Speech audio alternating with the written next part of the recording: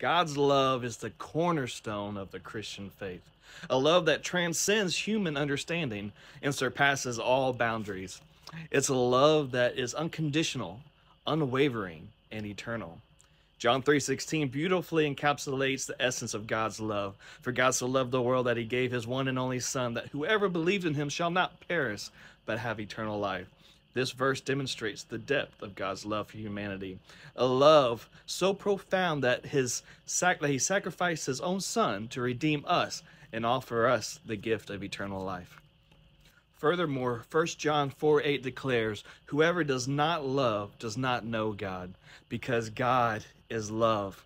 This verse emphasizes that love is not just something that God does, it's who He is. His very nature is defined by love, a love that is pure, selfless, and unfailing. God's love is not contingent upon our worthiness or our actions. It is freely given to all, regardless of our past mistakes, shortcomings, or failures. Romans 5 8 affirms this truth, but God demonstrates his own love for us, and that this, while we were still sinners, Christ died for us. In our brokenness and vulnerability, God's love remains a constant source of comfort, hope, and restoration. It is a love that heals the deepest wounds, comforts the weary soul, and brings light to the darkest places.